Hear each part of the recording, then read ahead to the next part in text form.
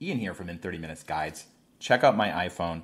The glass over the lens is broken, and I'm going to show you how to replace that glass. If this video helps, please take a moment to like it and follow me, and let's get started. This is an iPhone 11, and uh, I broke the glass even though I have a case. I think I dropped it on a pebble or something like that. The camera still works. The lens underneath is okay, but the glass itself needs to be replaced. And you're going to need a few things to do this. The first thing, of course, is your iPhone. So just turn that off and put it aside. The other thing you're going to need is one of these kits. They cost $10 from Amazon and has some tools, which I'll show you what those look like in a minute. And then some optional things, but highly recommended. One of them is a hair dryer, ordinary hair dryer. Uh, just get that out from your uh, closet or whatever. And then I use these two things as well. This is just a simple kind of a plastic tray to hold all the bits of pieces of broken glass so I can throw it out. And then this is a, a glass cleaner so I can kind of scrub things clean at the end. All right, so let's get started. Okay, so I opened up the kit that is used to replace the glass for the camera lens on the iPhone. And also, if you look at the description for this video, I'll have links to all of this stuff.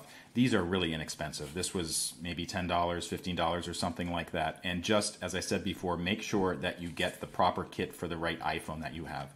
So I'm using an iPhone 11 in this particular video, but if you have an iPhone 13 or 12 or 10 or whatever, they'll have special kits for each one of those. And the difference is, is that as you know, you know iPhone 10 I believe only has one lens. Uh, iPhone 13 has two lenses, and on this particular phone there are also actually iPhone 13 has three lenses. iPhone 11 has just two lenses, and you can see the different replacement glass.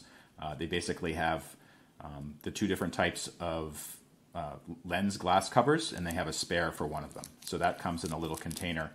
The other things that come in this kit, there's a little cleaner cloth, which is great. A uh, a, a, dry wipe on here and then also a wet wipe here to clean off excess dirt and glass shards and stuff like that. And then most important of all, this, these little neat little tools. So here's a little pair of uh, pincers or tweezers to get off the uh, bits of loose glass. There is an X-Acto knife, which you can also use to scrape stuff away.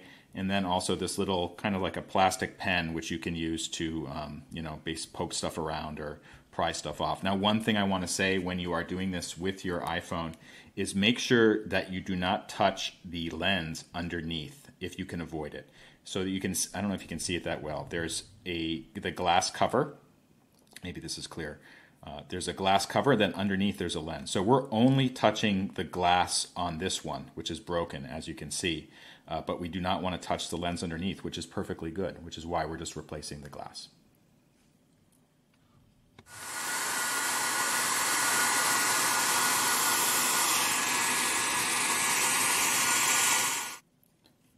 the best way to get started after kind of warming up the glue part is to press down with this plastic pen thing on the kind of the center where the break is and you can feel if it's broken it will it will cave in pretty quickly. So I've just done that. And then I'm going to start to pick it away. But let's make some progress with this and then I'll start using the X-Acto knife and those little pair of tweezers. So I found that actually this this is the best tool for getting those larger pieces of glass off around the edge. Uh, the X-Acto knife doesn't doesn't do it as well.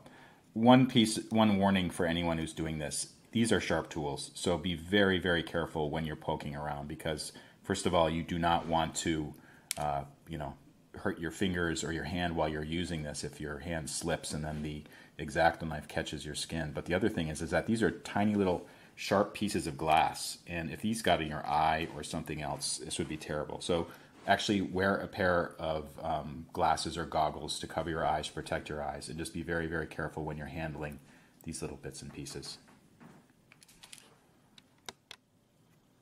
Okay, so I've gotten it pretty clean, and actually uh, the plastic pencil, this side of it has like a little plastic scraper, and that was really useful for getting off the kind of the glue that's around the edge. And I had to keep on using the hair dryer to uh, make that work. But I'm almost cleaned out with this. I'm going to use the uh, that kind of piece of cloth as well as the dry wipe just to clean out some of the stuff that's around the lens and then we'll be ready to put on the new lens.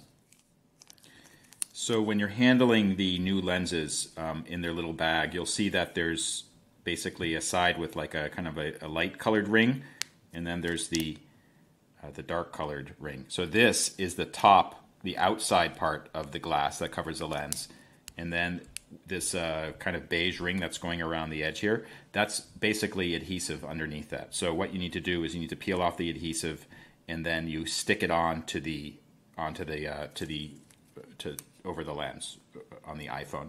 One thing I discovered is that these things they smudge really easily, so I don't recommend using your fingers. Basically, the way that I did this is I pry I put this little X-Acto knife underneath the edge of it, and then I it up, and then I use the tweezers to kind of hold it down. Then you can just kind of peel that right off. Let me just try that again. You have to hold it firmly. Okay, so basically this is ready to stick on to the new iPhone. So this is this is the sticky side, so I turn it upside down and stick it onto the phone. Okay, so I've put on the new glass cover for the lens. It looks fine, but the true test is actually ch checking out the camera itself. And you can see, maybe you can't see that well, but this is really looking good.